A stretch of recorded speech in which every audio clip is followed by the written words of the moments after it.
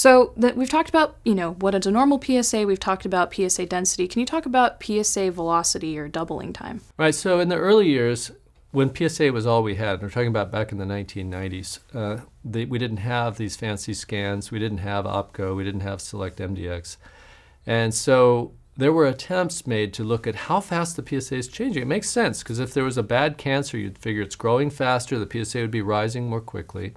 And that might be a good indication as to whether there's a bad cancer behind all this PSA uh, activity. Turned out that it didn't work very well. It sounds great on paper, but the problem is there's so many other reasons that PSA jumps around that uh, rapid rises in PSA were oftentimes occurring for, from prostatitis. So someone could have cancer and prostatitis, or they could have cancer and uh, you know uh, nonspecific inflammation or lab variations. And there just wasn't any added precision in the decision-making process. Now, PSA doubling time is useful for men that have had previous therapy, where the prostate's sort of been taken out of the picture. They've had previous radiation, previous surgery, and then uh, men that have cancer coming back after treatment, they look at the PSA doubling time to try and gauge how serious the cancer is, and the PSA doubling time is very useful in that situation, or the PSA velocity.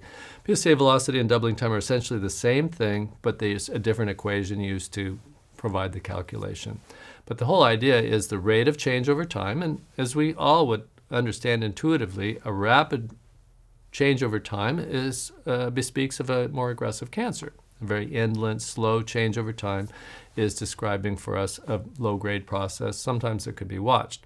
So we have to make a distinction. Are we talking about PSA screening in someone that's never had treatment, or are we talking about uh, evaluating the aggressiveness of a relapse cancer? And, uh, and uh, so the doubling time has application in relapse cancer. It doesn't really have application in men that are on a screening protocol.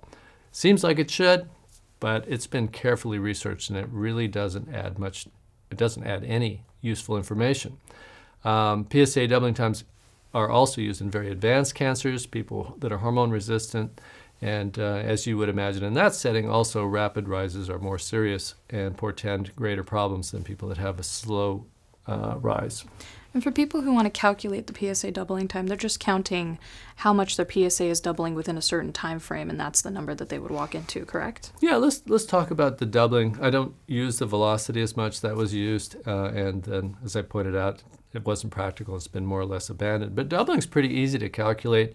Um, if you have uh, just a little bit of capacity with numbers, uh, if you take, uh, say it's in June and your uh, PSA is six, and then in July it's 12, right. then it's doubled in a month. So I, you just work backwards from the uh, most recent PSA. So let's say you're looking at a sequence of numbers. Let's say it's in June and it's 6, and you go back to March and it's 3. Then that's one doubling. Three months, it's a three-month doubling time. So it's not really difficult to uh, estimate. Now, if you're looking at relapse cancers, what is a serious PSA doubling time? Just to give you all a context, uh, the um, well, let's talk about what isn't a serious doubling time because it's nice to know that men that have doubling times that require more than a year, men with relapse disease, they've had previous surgery or radiation, the cancer's coming back, uh, and the doubling time is greater than a year, those people have uh, excellent long-term prognosis. Their survival is similar to other people that don't even have prostate cancer. Mm. Uh, so then work down. Uh, once you get under, say, eight to nine months, it starts to become a significant problem. And then, of course, people that have doubling times that are in the one to three month range have very aggressive cancers. Yeah, and thank you so much for making those distinctions. I think that some patients have, in conversations I found, often think that if it's not in the screening situation and trying to figure out what's going on there, they don't realize that doubling time has so much importance when it comes to treatment. Thank you so much for watching. If you have questions you would like us to ask our prostate cancer experts, uh, you can go ahead and email us at info at pcri.org. And we have a ton of information on our website as well, so go ahead and visit that. And if you enjoyed this video, please give us a thumbs up and click the subscribe button. This helps other prostate cancer patients learn about our channel on the YouTube platform. We hope you have a great week.